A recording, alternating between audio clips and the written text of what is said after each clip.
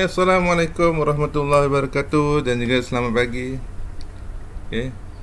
Hari ini kita pergi pada uh, multimedia hardware chapter nombor 3 iaitu pada subjek DEC 40082 iaitu interactive multimedia application.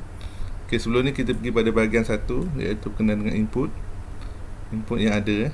input yang ada dalam segi multimedia hardware. Okay, hari ini kita pergi bahagian kedua. Apa yang katakan dengan bahagian kedua bagi multimedia hardware ni? Okey. Okey, bahagian kedua materi hardware ni ialah fokus kepada apa yang dikatakan dengan audio output. Audio output device eh. Okey, yang dikatakan dengan apa audio output device ni ialah kita refer sebagai mana-mana device yang disambung kepada komputer untuk banyak penggunaan sama ada untuk uh, uh, untuk mainkan uh, sound sound atau suara seperti muzik ataupun speech biasanya uh, term ni refer kepada computer sound card lah sound card lah macam dia aware. Ok satu lagi ialah output device. Output device is any piece of computer hardware equipment used for for communication communicate result of data processing carry out by information. Biasanya ada beberapa peralatan yang digunakan untuk membawa lah signal. Ha, panggil, panggil information processing system komputer kemudian dikonvertkan kepada uh, bentuk elektronik yang supaya manusia boleh lihat dan boleh dengar boleh dapat lah generate information into the human readable form. Itu panggil audio output device. Ok satu lagi berkenaan speaker. Apa yang kata dengan speaker? Speaker merupakan salah satu device bagi output audio device. Ok speaker biasanya banyak digunakan lah untuk dapatkan keluaran daripada output device. Kalau kata kita lihat pada laptop ataupun ada mobile computer device speaker biasanya panggil built in kalau kita ada laptop biasa speaker ada dalam ataupun kalau kita lihat dalam handphone kita dia panggil built in biasanya external speaker kadang-kadang kita nak perlukan suatu sound yang lebih besar lebih kuat dan sebagainya kita guna external speaker. Ha, banyak ha, dia ada panggil audio plug ataupun ha, panggil port eh yang boleh sambung kepada USB connection. Okay, biasanya some external speaker require spare uh, energy supply yang yang beza perlukan ada bekalan kuasa yang plug sama ada di dinding dan sebagainya di wall plug power power strip. Okay, seterusnya ialah kalau kita lihat earphone. Apa kau katakan earphone? Earphone satu salah satu juga. Earphone ialah digunakan uh, uh, another types of audio output device. Terdapat pelbagai jenis earphone. Eh, kalau kata konsep dalam mana gunakan earbuds dan dia dimasukkan di letak di di telinga ataupun di, di kepala kita yang mengandungi uh, headphone ataupun mikrofon eh. ada sekali ada earphone ada yang mikrofon bergantung eh, pada kegunaan masing-masing Okay, satu lagi sound card sound card ni bukan satu komponen komputer yang menukarkan maklumat daripada digital audio file kepada electronic sound signal lah. Jadi signal ni akan ditukarkan dimasukkan dalam audio output device seperti speaker dan earphone. Itu sound card. Dari sound card ni biasanya daripada komputer nak bagi satu kita punya uh, mikrofon dia mesti ada satu sound card. Sound card kadang-kadang dia datang sekali dengan dua dalam satu contohnya dengan satu plug dia ada dua eh. dia jadi menjadi mikrofon dia juga menjadi uh, dia punya earphone, ear, earphone eh.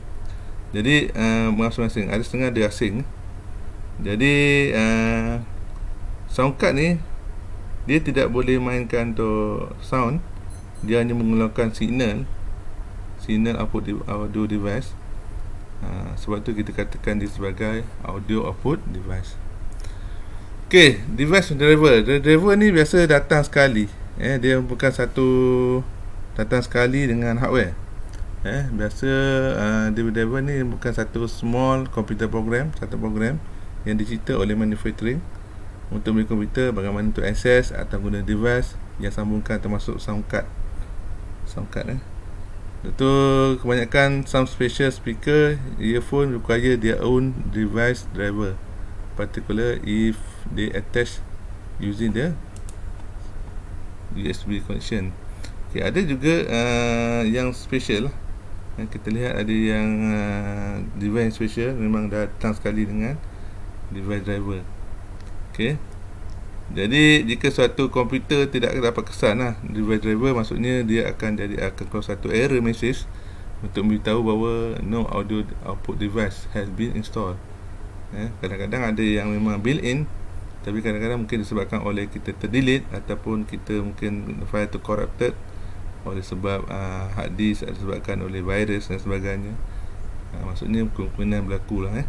jadi sebab tu dia boleh kesan device driver itu salah satu lah. Jadi biasanya kita perlukan replace. Tukarkan dan ataupun kita install balik kita pasang balik dapat dah download free lah daripada produk manufacturing website. Bergantung pada manufacturing macam mana. Ok lihat kepada contohnya kalau di sini uh, HP HP lah tengok kepada kita punya uh, driver tersebut Okey, satu lagi ialah monitor. Monitor ni ialah satu uh, satu display, electronic visual computer display yang mengandungi skrin data dalam dia. Okey, yang yang memang kita lihat dan tu ada data elektronik eh.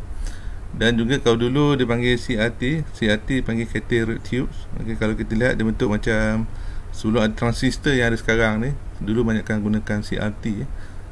Okay, dia biasa CRT dan untuk negara sejuk mungkin tak ada masalah lah untuk negara macam negara kita katulistiwa mungkin ada masalah sikit eh untuk CRT eh pasal dia menyebabkan kepanasan di dalam dalam monitor tersebut jadi biasanya dulu dia lush, heavy and efficient eh. tak apa-apa pasal selalu terbakar Okay, kebanyakan sekarang kita lihat ada flat screen LCD monitor banyak digunakan laptop, PDA, desktop komputer kerana apa?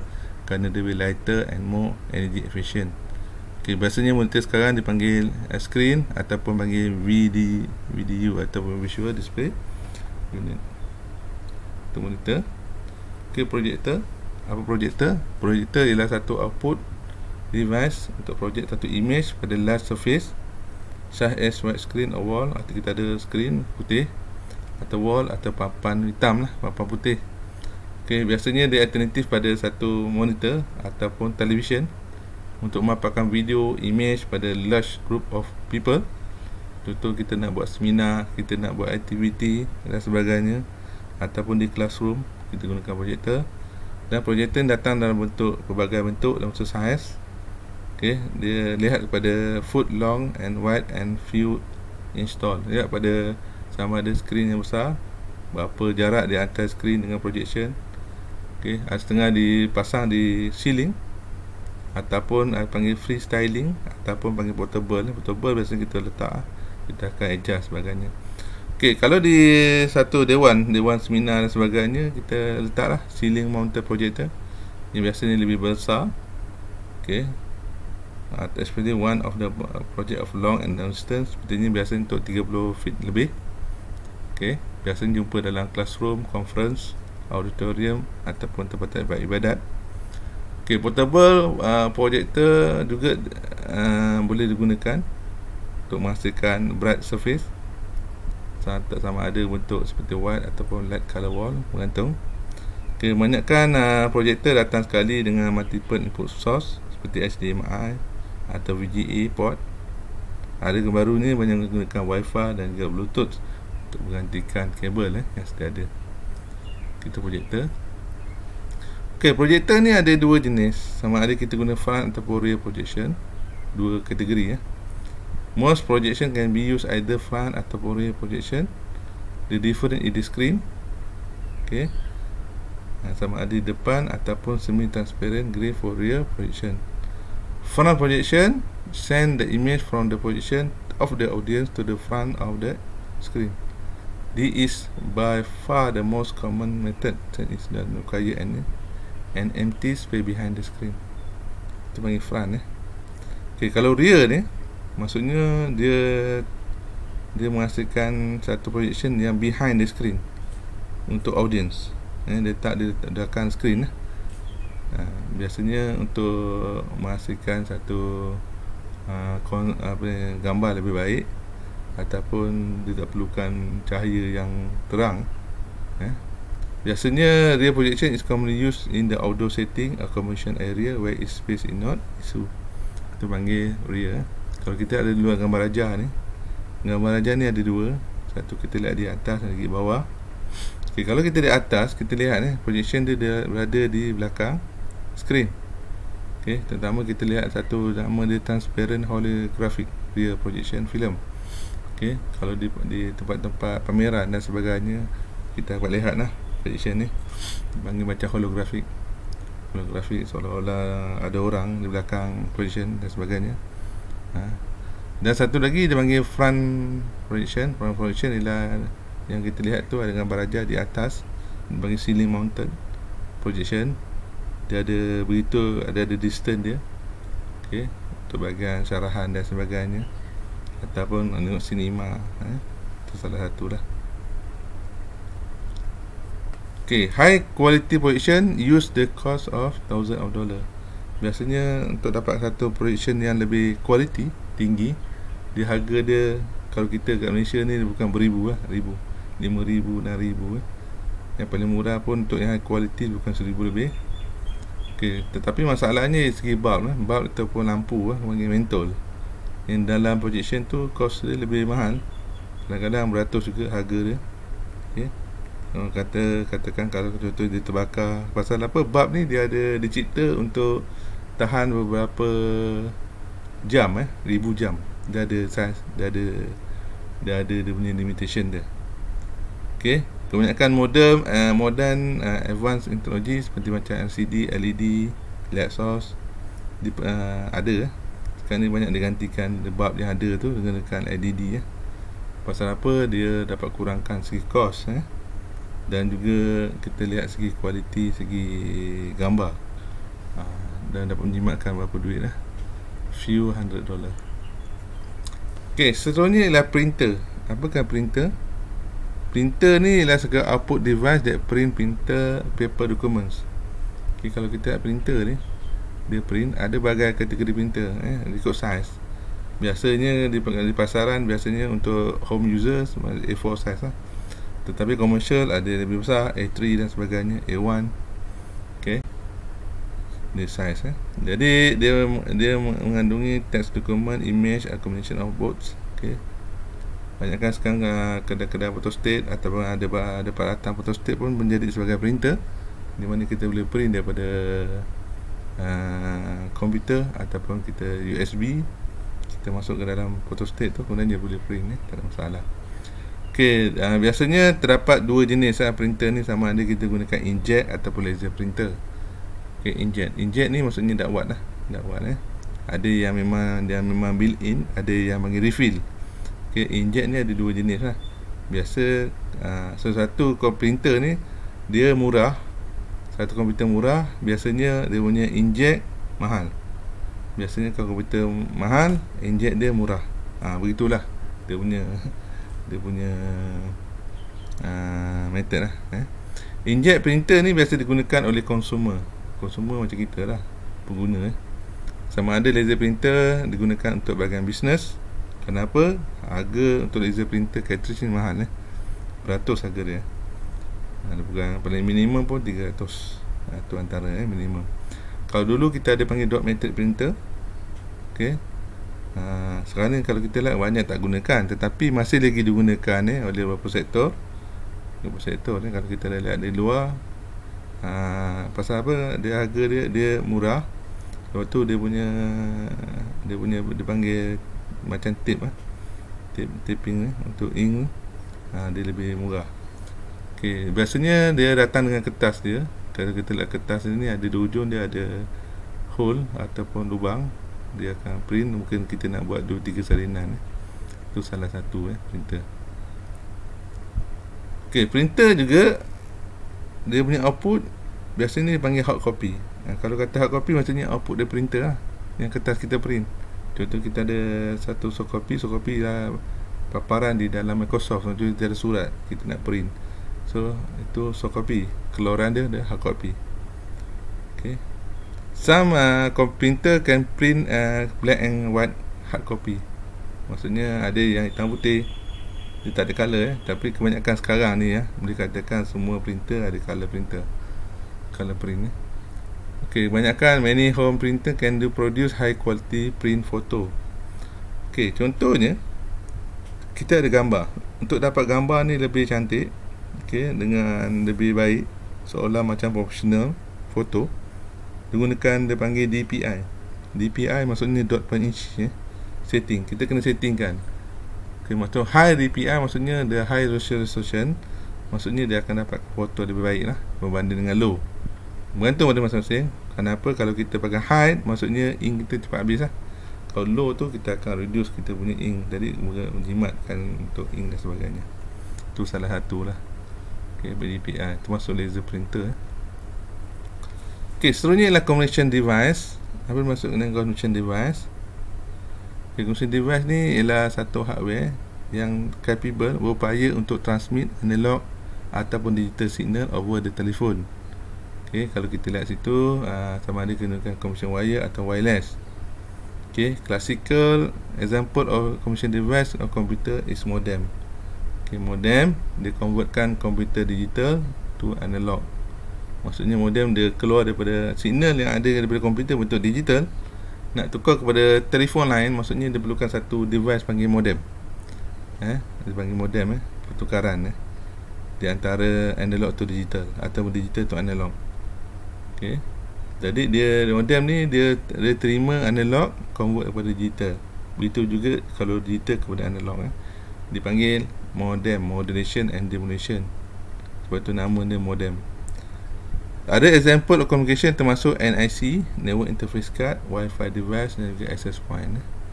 Itu biasanya dia datang sekali lah dengan komputer.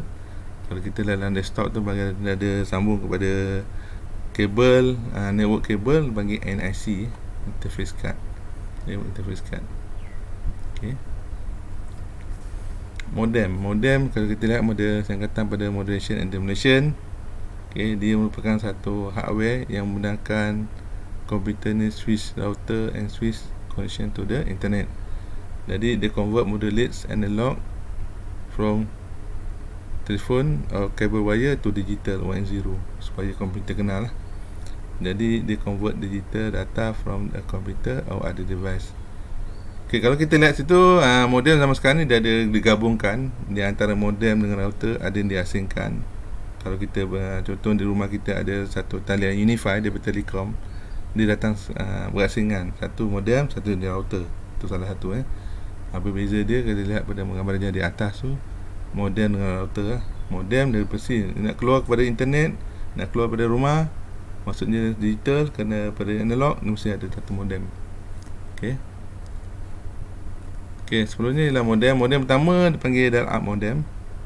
Okey zaman dahulu tahun 90-an eh di Malaysia dia merupakan satu modem pertama. Iaitu dia menggunakan berapa ton signal daripada untuk sambung kepada internet eh untuk orang-orang lama. Kita tahulah dengan dial-up dan juga speed dia maksimum boleh pergi lebih kurang 54 kb per second. Ha, itu salah satu lah. Jadi dia perlukan local telephone line. Kadang-kadang kalau kita dapat voice call pun ada interrupt. Maksud interrupt ni ada gangguan itu salah satu sebab eh. ha, dia akan replace kepada satu sistem yang lain. Ok ok ini modem yang baru. Modem baru dipanggil DSL DSL maksudnya digital subscriber line ataupun panggil kabel modem atau sekarang ni bahasanya orang panggil broadband. Ha, broadband. DSL ni dia operate over standard telephone line tetapi menggunakan wider frequency range. Jadi bila sebut wider maksudnya dia akan bawa lebih higher data transfer rate berbanding dengan dial up modem.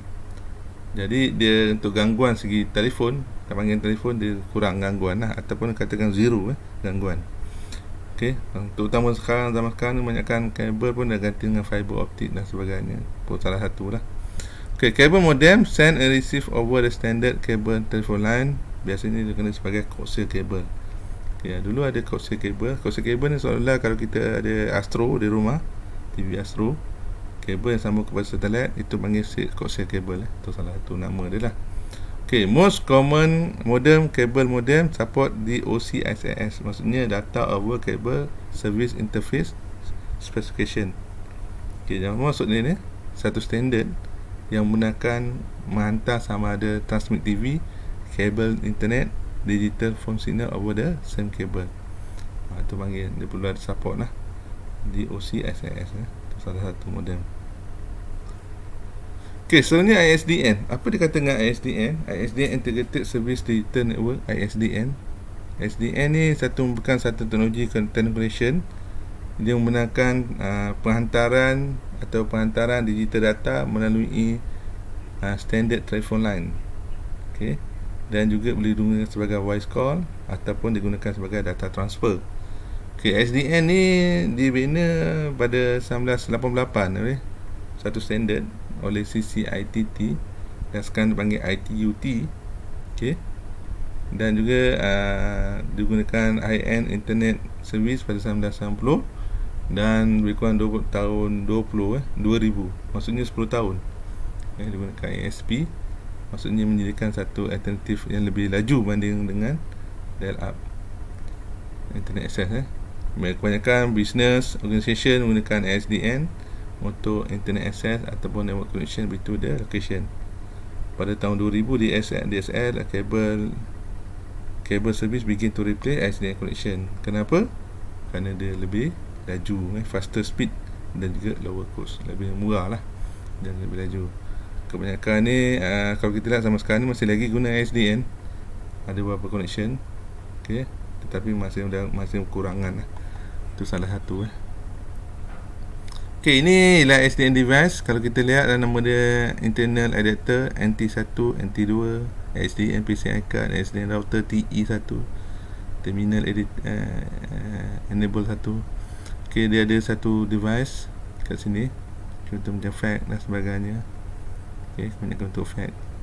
Itu dah ada SDN service uh, digital network. Okay, inilah contoh satu bentuk rangkaian eh. Contoh kita ada di rumah kita ada telefon ada komputer sambung kepada satu SDN data dan sebagainya lah. Okey. So ni lah kabel modem. Kabel modem ni ialah satu satu hardware device menggunakan your computer communicate with the internet service provider over a line over a line landline connection. Okey, ini maksud kabel modem. Kabel modem ni dia convert analog signal to digital untuk dapatkan uh, broadband internet eh. Biasanya kalau uh, kita gunakan kabel modem menggunakan coaxial cable ataupun cat5 internet. Okay, masih lagi digunakan network uh, router are used to share internet connection between the multiple computer. Okay, kebanyakan modem kabel modem uh, menggunakan router built-in. Eh, sekarang ni ada modem dengan router dan built-in eh. Dia menjadikan satu connection wifi. Okay, ini salah satu contoh gambar bagi kabel modem belah kanan atas tu. Maksudnya di BC Eastern Alone modem Motorola kabel modem. Dia uh, all in one modem dengan ada satu modem dan router dalam satu kotak lah box. Dan ada sambungan kepada di belakang dia ada coaxial dan juga Cat5 connection. Okay, dia menggunakan satu uh, sambungan pada router. Okay, bawah tu ialah kabel offer a significant speed increase of internet performance. Okay, then up uh, connection uh, is the one fastest broadband solution. Okay, kalau kita lihat sekarang ni penyedia ISP ataupun internet service provider di Malaysia ni banyak eh.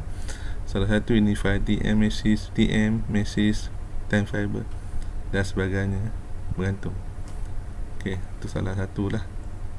Maksudnya kita ada satu kabel modem eh. Okay, kita bagi satu video. Video panggil communication device. A video introduction, introduction the Different communication device Used by computer and other device. Okay, kita bagi satu video dia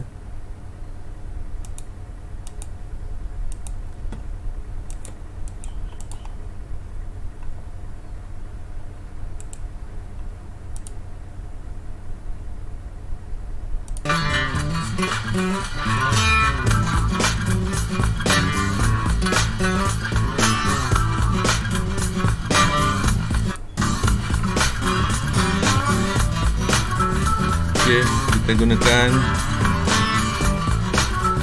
kabel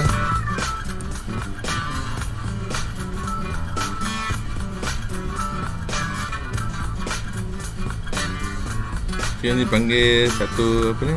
UTP hasil Swiss pair kita ada dua jenis UTP dengan STP ada beza dia connection ni. Untuk belajar network networking belajar networking akan belajar mengenai UTP dan STP coaxial cable saya tunggu macam tadi cable astro. Dia panggil coaxial cable ok ini salah satu ya cable bawa signal.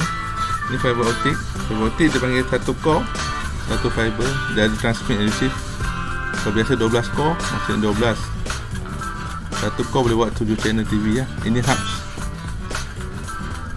hubs maksudnya biasa digunakan untuk connection kepada multiple komputer ok bagi switch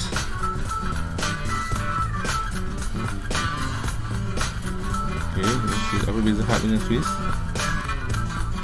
ok ni sini ialah bagi router.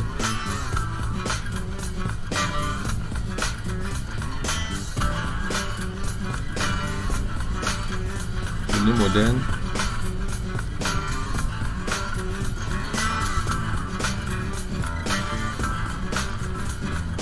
This satellite Satellite this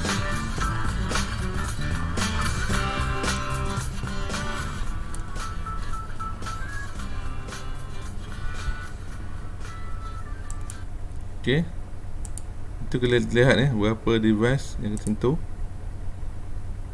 Okay sentuh. Penggunaan communication device. Seterusnya ialah Kita akan review eh Ulang kali bersemula pada hardware Multimedia hardware yang digunakan jadi macam mana bentuk dia? Kita lihat refer balik.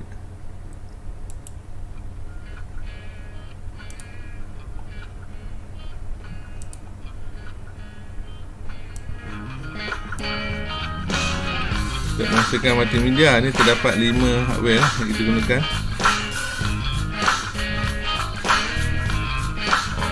Scanner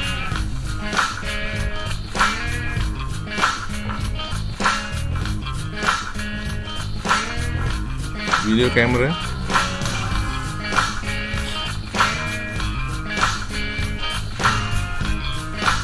Camera.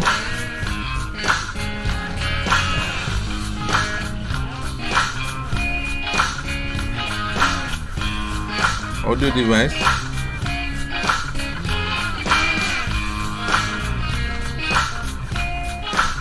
Video capture device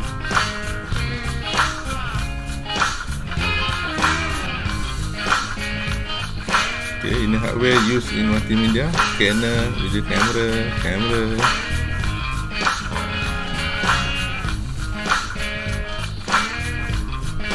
Microphone, firewire, USB cable.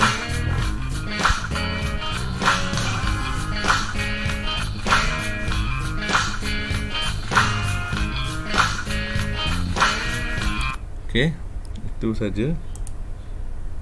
Okay, inilah peralatan kita gunakan okay, di antara kita gunakan dalam multimedia contoh-contoh.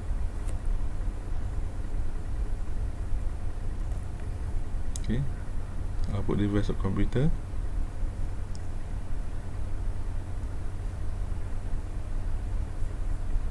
Okay, posisi microprocessor. Dan dalam motherboard ada microprocessor. Sekarang ni bertinggi lah i7 story device kita ada banyak di story device ni RAM dengan ROM. Second primary and secondary. Primary ialah dalam untuk macam RAM ROM. Secondary macam hard disk lah. USB secondary pen drive floppy. Zaman dulu kita guna floppy lah.